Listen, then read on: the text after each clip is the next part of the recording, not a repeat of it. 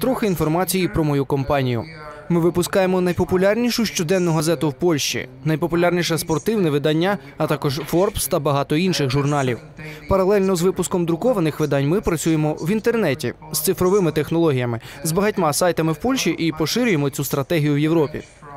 У 2013 році в Німеччині прибуток від цифрових видань став на 22% вищий ніж від друкованих видань, і це ключовий поворотний момент. Наша компанія почала співпрацю з ОНЕТ, і ми сподіваємося, що завдяки цій співпраці показники на ринку зможуть скоро перевершити показники Facebook і Google, які наразі лідирують у світі. Ви бачите, кількість поляків, які часто користуються інтернетом, це 13 мільйонів людей. 50%. Ви бачите, як можна досягти чогось хорошого шляхом співпраці таких двох різних компаній. Тобто Ringier Axel Springer може принести корисну інформацію. Журналісти працюють кожного дня над матеріалами. В той час як Onet може принести велику аудиторію, і це безпрецедентний проект. Вперше компанія, що випускає друковані видання, зливається з інтернет-компанією. І якщо цей проект досягне успіху, а ми ще не знаємо, чи досягне, то він буде унікальним в Європі. Хтось знає, яке найпопулярніше щоденне видання Польщі? Наразі Newsweek і політика конкурують між собою, ведуть боротьбу за звання найпопулярнішого. Я почав як журналіст, продовжив як редактор і наразі відповідальний за веб-сайт. На початку 2008 року це було друковане видання. Існував також сайт, де продавався pdf формат.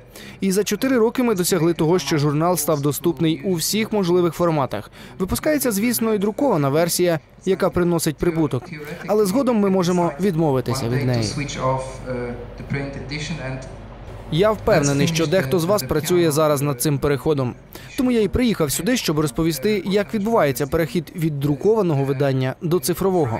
Якщо ви працюєте в друкованому виданні, то рано чи пізно зустрінетеся з такою ситуацією. Тому потрібно обговорити труднощі, які можуть виникнути на вашому шляху. Отже, до суті нашої презентації. Ці цифри, отримані буквально декілька днів тому, відображають рекламний ринок у Польщі, який виріс до 2 мільярдів 281 мільйона доларів. Тобто телевізор, звісно, є основним ресурсом реклами. Інтернет знаходиться на другому місці. З усіх можливих сегментів наразі зростає тільки кінотеатр і інтернет. І ми думаємо, що рекламний ринок буде йти на спад. Виростає лише ринок інтернет-видань. Ви бачите, що він виріс на 10% і зараз коштує 711 мільйонів. Далі йде реклама в Google. Імейл спадає. Спостерігається величезний грандіозний зріст мобільного сегменту. Я маю на увазі банери та додатки. У соціальних медіа реклама зростає, але повільно. Найпопулярнішим в Польщі є YouTube. Друковані видання стікають кров'ю. За короткий період ми втратили майже 15% накладу. Звісно, якщо керівники бачать, що вони втрачають друковані видання, то йдуть до спеціалістів і просять допомогти в переході на цифровий формат. Перед тим як зрозуміти, як перейти в цифровий світ, нам потрібно зрозуміти, що таке середній образ журналіста. Хлопець чи дівчина, які спочатку пишуть, а потім відпочивають. Буває, що система працює по-іншому. Найсумніше у моїй презентації, що тут немає картинки з відпочинком. Тобто журналіст пише, знімає, записує, додає фото, пише в блоги, Фейсбук, Твіттер.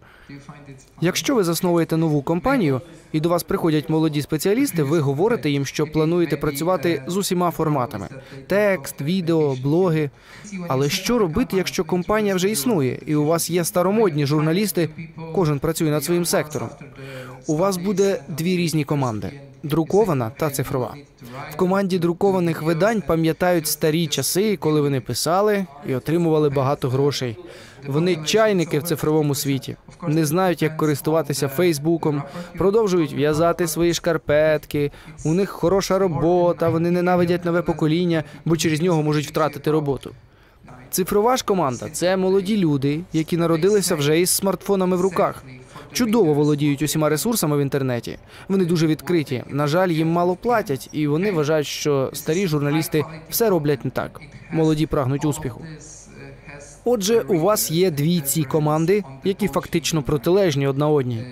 Уявіть, що вам потрібно їх об'єднати в одній кімнаті. Я знаю, що в Україні вже багато хто це зробив. Наприклад, сьогодні я відвідав Forbes. Побачив, що всі журналісти працюють разом. Вони пишуть для всіх форматів. Але такий процес треба всім пройти. На жаль, це як перехворіти вітрянкою.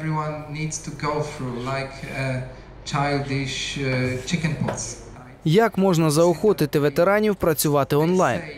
Перш за все, їх треба навчити це робити, створити зрозумілі і доступні їм інструменти. Також гарна ідея представити серію репортажів, які будуть у друкованому виданні, а продовження в онлайн. Запропонувати їм спільні проекти і, звісно, допомогти їм стати новими зірками в новому форматі. Це те, що ми зробили в Forbes. Створили авторські сторінки. Вони розуміють, що мають певне місце на сайті. Як ніжно перейти до цього злиття? Намагайтесь не поєднувати об'єднання двох команд з урізанням зарплати та звільненнями, щоб не налякати людей і не створювати негативних асоціацій. І нехай в них буде більше кімнати для роботи, а не навпаки менше. Ще потрібно заохотити журналістів працювати швидше. Щомісячне американське видання, яке було суто друкованим, презентувало декілька днів тому щотижневе цифрове. І це показує наскільки швидше стала працювати команда в новому форматі. Коли ви вже створили таку команду, яка буде працювати над матеріалами в усіх форматах, після того як ви зібрали матеріал, вам потрібно його розформатувати якомога дешевше. Це не інформація про Newsweek, але це інформація про ті компанії, які пішли цим шляхом, що вони мають. Ви бачите, що друковані видання спадають, а інтернет зростає. Звісно, що матеріал для друкованих видань найдорожчий, а в цифрових виданнях використовують той же матеріал, тому легше збирати прибуток. Але через якийсь час буде баланс. Ми знаємо, що ті компанії, які працюють за цією схемою, мають приблизно такі дані. Якщо ви зможете правильно інвестувати в технології, а ви пам'ятаєте, що цифровий ринок дуже популярне місце для розміщення реклами, то ваше онлайн-видання стане прибутковим через 6-8 місяців. Наприклад, якщо ви захочете випустити журнал для Android або iPhone, ви повернете кошти приблизно через півроку. Чи досліджували ви такий момент, коли веб-сайти створюють мобільні додатки? Чи варто вкладатись в подібний проект? Якщо ви запитаєте в моїх колег, що керують успішними сайтами, вони скажуть так. Технічні видання, наприклад, не мають друкованих версій. І коли вони почали створювати мобільні додатки, я запитав, навіщо? А вони відповіли, що хочуть показати рекламодавцеві, що вони скрізь. Для них це доречно. Звісно, ціни спадають. Коли тільки випустили iPad і створювались додатки, це коштувало близько 30 тисяч доларів. А зараз можна створити приблизно за 3 тисячі.